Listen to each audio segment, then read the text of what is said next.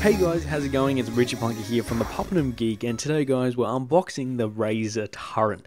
Now, the Razer Turret as you can see here, comes in this nice packaging, which you can see, sort of see what it does already. Uh, it allows you to, you know, wirelessly take your keyboard and mouse and play sort of laying back on your couch. Now, being the slight movement of a lot of PC gamers now moving to the living room, um, it's not a surprise that Razer's come out with something like this. So inside the box, we've got we've got is the keyboard and mouse, nicely packaged. I may have to say myself. Um, we've got you know, a nice sort of um, small um, mouse here, which we'll take a closer look at soon. And then we've got the keyboard. Now, I actually thought at first glance this was LED, but it's not. It's just green.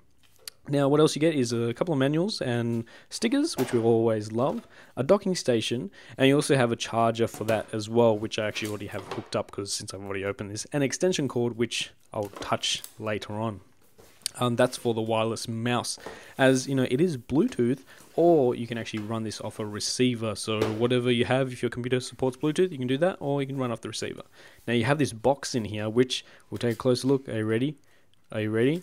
Are you ready? What's inside this big box? It's it's a uh, it's a USB. It's an AC to USB charger uh, or adapter, and that's all it is. It's it's in this like massive box, and that's I swear they could have just like just chucked it in there and it would have mattered, but they had to package it in this box. Anyways, taking a closer look at the keyboard, um, your mouse sort of pad uh, folds out of the keyboard as you saw there. It's actually a nice big surface, I have to say. So it's enough to you know move around. I've been using it for a little while now, and um, it definitely does work. Now the surface is sort of magnetic to the actual um, mouse itself. So taking a closer look, you can sort of here has this texture to it. Now it doesn't actually. I find it actually not that it doesn't work that well, you know, on a mouse pad because it actually sort of has a bit of friction on there.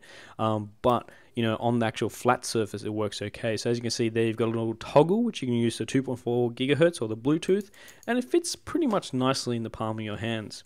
Now behind on the bottom of the keyboard, you do actually have that similar sort of you know rubberized grip, which means you know when sitting on your lap, it's not going to be slipping around. Um, you know, because obviously you're going to be sort of laying back on the couch and the mouse pad just folds in like so.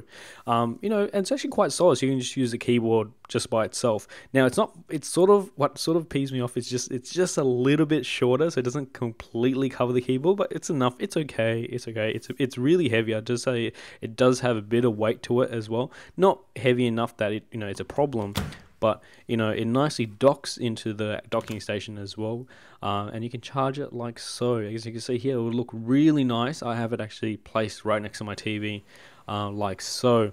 Now make sure to subscribe and like this video for the full review which I'll be having soon hopefully next week. I've been playing a few games but other than that guys I'll see you guys in the next one